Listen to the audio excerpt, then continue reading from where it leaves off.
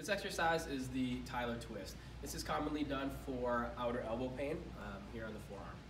Okay, so what you're gonna do is you're gonna grab it in the hand, uh, which you have the pain. Um, you're gonna hold it close to you, and I want you to bring your fingers in towards your chest a little bit. So we're gonna kind of kink our wrist just like that. Good. With the other hand, uh, I want you to reach back, and we're gonna give this a good old twist, just like that, and extend both hands in front of you. Excellent. This is the starting position.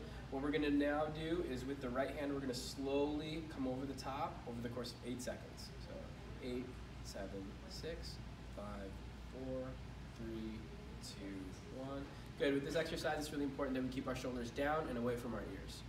This is the reverse Tyler twist. This is an exercise commonly done for uh, inner elbow pain.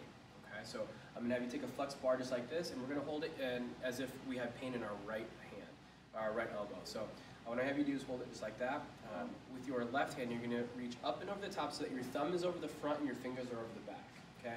Get a nice strong grip on that and we're gonna twist both hands and extend both elbows in front of us just like that. Good.